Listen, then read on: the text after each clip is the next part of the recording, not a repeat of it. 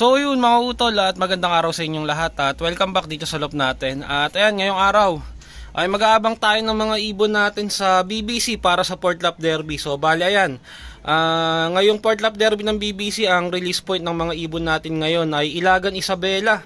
At pinawalan yung mga ibon sa Ilagan kaninang ano 740. At tumingin ako sa clocking, may mga nagpaklak na, marami na nagpaklak at ang tutuli ng mga ibon ngayon nasa 1.4 plus ang speed ng mga ibon. Ayan, so antulin. Grabe yung uwian ng mga ibon ngayon sa port lap ng BBC. Uh, nasa 1.4 nga yung top speed sa gawing ano, uh, Pampanga, Tarlac. Ayan. So dito sa atin nasa 1.4 na lang ang speed ng mga ibon sa mga oras na to. Pababa na ng 1.3. Uh, kaya ito, umakit na tayo sa loop. So, ayan, nagulat ako. Pag check ko sa clocking, nasa 1.4 yung speed ng mga uh, ibon. So, ayan. Uh, kaya ito, mag-aabang-abang na rin tayo. Baka maya-mayang konti eh, may magdatingan na sa mga uh, mga ibon natin. So, bale yun, tatlong ibon nga in-entry natin. Ah, yung yung kinarga natin, yung tatlong uh, natitirang live natin sa BBC. Ayan, abang-abang tayo. So, ang oras natin, ano? Uh, 10.57. Ayan, so sana maya maya konti may lumusot na rin sa mga ibon natin. So tailwind, tailwind kasi kaya mabilis yung uwi ng mga ibon ngayon. Uh, tulak hangin. So kaya ayan, yung mga ibon natin napabilis yung ano, ah yung mga ibon tuloy, ala pa tayong ibon, yung mga ibon ng BBC, ayan, napabilis tuloy ng ano, uh, ng uwi. Natulak hangin yung mga ibon. Ayan, abang-abang tayo. So ayan, good weather tayo ngayon, no. At yun nga, ang ganda pa ng speed ng mga ibon. Ayun, abang-abang tayo. Sana lumusot yung mga ibon natin. So yun mga utol, ang oras natin eksakto alas 11. Sakto 1-3 na lang ang speedan ng mga ibon. At wala pa rin tayong ibon, mukhang ayan. Yung mga ibon natin mukhang overshoot naman sila. Ayan, uh, walang sumabay sa 1-4 or ayan 1-3 dahil ayan nasa 1-3 sakto na nga lang ang speedan, pababa na yan ng 1-2. So walang sumabay dun sa mga ibon natin. Ayan, malamang overshoot na naman yung mga ibon natin yan. Sa likod na naman sila manggaling. So, yun lang. Ang tulin lang ng ano, ng mga nagpa-purse clacker. So, nasa ano na, nasa uh, nasa isang daan na ata yung nagpapaklak. Yun, nasa 1.4, 1.3, 1.2 yung speedan. So, grabe yung tulin ng mga ibon. Ayan, so sigurado nasa likod na yung mga ibon natin yan na overshoot na yun. Kaya malamang south na naman sila maglabasan. Yeah, abang-abang tayo. Basta magklakibon natin ng importante. Ano na lang. Last 3 laps na lang next week. Uh, ano na, apari kagayan na yung magiging release point ng mga ibon. Yeah, abang-abang tayo. Sana may lumusot na. So ito mga utol, may first bird na tayo. At yun nga, hindi ako nag... Ay putya, sinabayan pa nung isa natin oh. Lumabas yung isang barako natin, Rumonda. Huy, nako po. Ay, nako. Ayan, first bird natin yung checkered.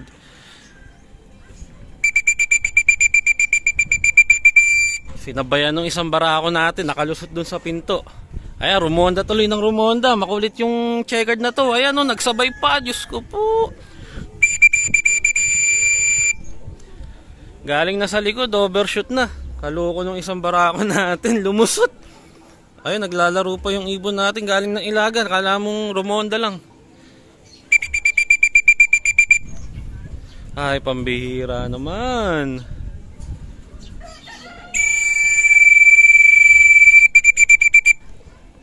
Ay, nako po.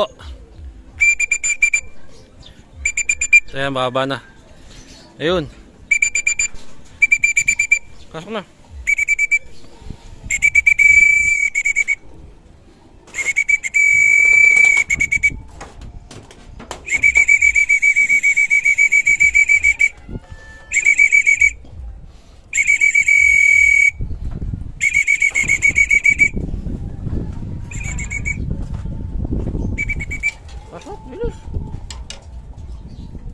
Ayan, clock muna natin.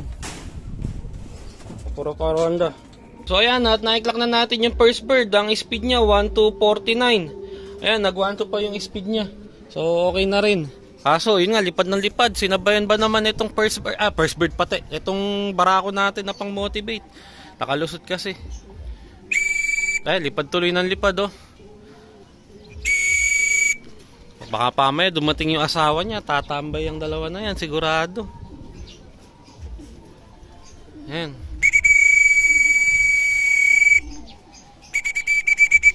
Ay, pambihira. Sana bumaba na rin kagad. Eh, first bird natin, no? Ayan, malakas pa yung first bird natin. Ayan, lipad pa ng lipad nung dumating. Overshoot na, galing na siyang likod nung pag-uwi niya eh. So ayan, isa na. Nakakaisa na tayo sa tatlo. So yun mga utol, uh, di pa rin nasusundan yung isang ibon natin. At ayan, ah... Uh, mukhang ano, yung iba ang ibon masyadong ano na, na overshoot na siguro, baka nalayo na ng husto. Ayun, yung pabalik sila mahihirapan kasi sa pabalik eh headwind naman na. So to, ano na sila, sa sinasalubong na sila ng hangin pabalik. Kaya yung mga nag-overshoot eh ayan, hirap sila ngayon sa pag-uwi pabalik yun nga yung dalawa natin eh ang laki ng pagitan. So nung mga nakakaraan ang ganda ng uwi nila. Pagka may dumating na isa halos magkakasunuran lang. Pero ngayon nga eh kanina pa natin na-clock yung first bird natin eh hanggang ngayon hindi pa nasusundan. So yun. Ah, sana lang dumating din yung dalawang brown yung magnes mate so sila na lang ang kulang natin. Yung isa natin okay na kanina pa yan no? medyo nakapagpahinga na at okay naman yung itsura niya oh. wala naman sa itsura niya yung napagod yung na-stress ng sobra Ayan. So, pero overshoot na rin to kung tutuusin kasi galing na siya sa likod nung umuwi siya. Ayan. So, abang-abang pa tayo dun sa dalawa natin. Lumusot pa sana yung dalawa. So, yun mga utol. Lahat, ayan, nandito tayo sa taas ng loft dahil nainip ako dun sa baba. So, hindi pa rin nasusundan yung isang ibon natin hanggang ngayon. So, ang oras natin ay ano na. Uh, ah, 12-12 na. So, nasa ano na lang, kulang-kulang 1,000 na lang ang speed ng mga ibon ngayon dito sa atin.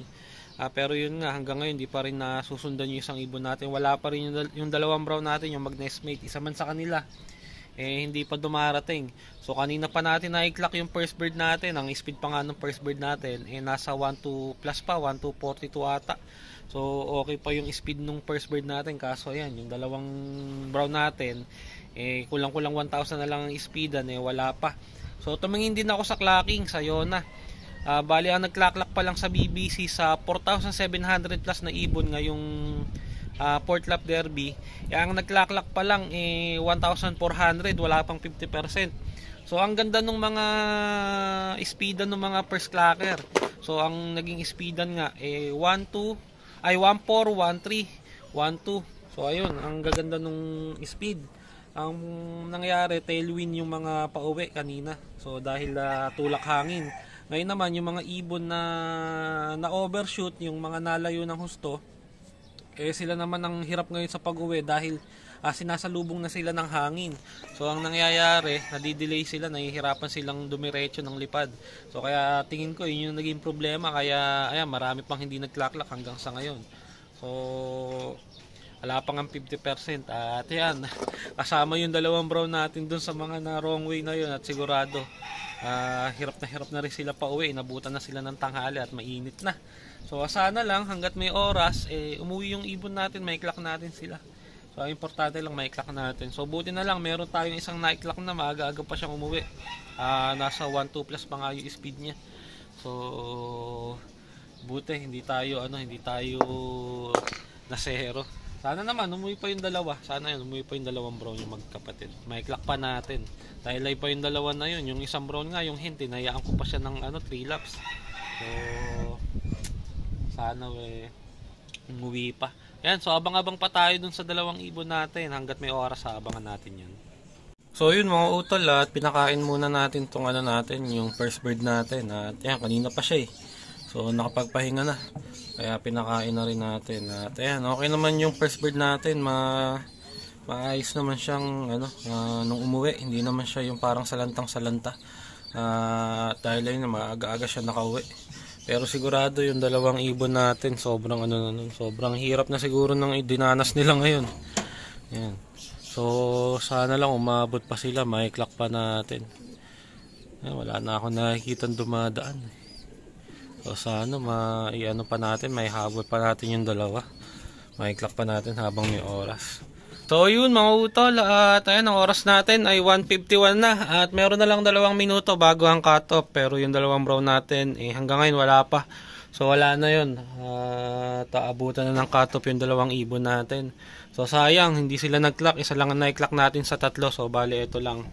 So Ayan, sa clocking, uh, tumingin ako, naka 50% naman yung clocking ng BBC. So, ang dami pa rin naman nadurog sa 4,700 nga na ibon. Eh, kalahati lang yung nagpa-clock. At yung kalahati, eh, hanggang ngayon, eh, wala pa. So, ayun. Uh, nagkapahirapan pa ngayong ano, uh, ngayong Port Lap Derby Lagan Isabela. So bali last two laps na lang, Apari sa Santa Ana. So sana itong nag-iisang ibon natin eh tiyagain na niya yung dalawang dulo. So sana we lusutin, lusutin na nung ibon natin na to. So ayan, live pa tong ibon na to. At uh, doon nga sa tatlong uh, sa apat na entry natin, Itong ibon natin na to yung pinakamagandang umuwi. So siya yung laging nag uh, ano sa atin, nag uh, first bird. Isang beses lang siya nag second bird on third lap pero ngayon, yun nga siya lang mag-isa na i-clock natin. At okay naman yung speed niya, maganda pa nasa 1-2 plus pa. So sana lang itong last two laps sa Paris sa Santa Ana, eh kayanin na nung ibon natin na to, sana pilitin na niya. Ayan, so yun yung istorya nung Port Lap Derby natin sa BBC, sa Ilagan Isabela. So, 1 out of 3 tayo, isa lang ang naiklock natin sa tatlo. At uh, yan, may laban pa, last 2 laps, sana kayanin ng ibon natin, sana swertein pa tayo, palarin pa sana tayo na itong dalawang huling karera ng BBC. So hanggang dito na lang itong video natin mga utol, maraming salamat sa panonood. At kita-kita na lang ulit tayo sa susunod na arrival ng mga ibon natin uh, Piplap Derby ng BBC Apari Cagayan. So, yan, good luck sa atin. Maraming salamat sa inyo mga utol. So, yun mga utol. At ayan, meron tayong isang ibon na umuwi galing sa BBC Port Lap Derby. Ilagan Isabela, yung brown natin na hen. Ayan, oh. Dumating siya ngayong, ngayong hapon. Ang oras natin, 4.52 na. So, araw na ng Miyerkules, nung Sunday pa yung karera. Ayan, ngayon lang dumating, oh. Grabe. Kinis ng ibon. Ang ganda ng itsura. Oh. Ewan ko ano nangyayari dito. Ayan, baba na. Oh. Ayan, oh. Oh, ang kinis ng ibon, oh. Kala mo hindi galing sa, ano, sa malayo. Hindi ko alam kung naka-sticker pa siya. Ayun, intact pa yung sticker niya. Eh, sorry. Ay, nako. Kung kailang, anong araw na? Miyerkules na. Miyerkules na ng hapon. Ayan, yung ibon natin. Ito. Ngayon lang siya dumating. Yung isang messmate niya na brown, hanggang ngayon wala. Pambihira. Hmm. Saan kaya nagsuot ring ibon natin na to? Ang kinis oh. Ngayon lang umuwi. Mukhang ano nga to, nalihis. Yan. Bala ko, ano siya, final up na lang ikarga. Total, nakasali siya ng ano eh. Ng tag din eh, ng patibayan. So, yun, sa final up. May laban pa siya. Kahit pang pumasok.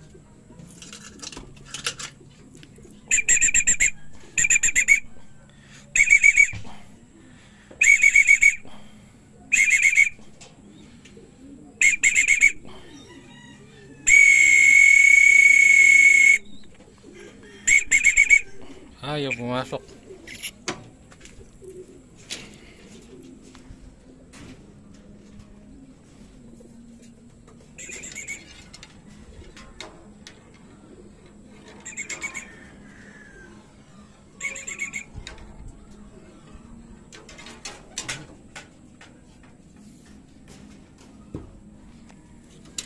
Ayan, di ko alam kung ano pinagagawa nitong ibon natin.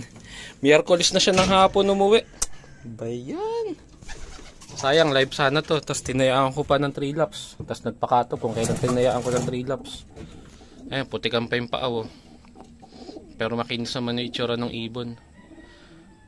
Ayan, 2 out of 3. Wala pa rin yung isang brown yung nestmate niya. So, yun nga, nung Sunday, ito lang ang clock natin. Siya lang. So, itong isang brown natin ngayon lang umuwi. Ayan, nahanap niya yung asawa niya, oh. So, yun mga utol. Hanggang dito na lang itong video natin.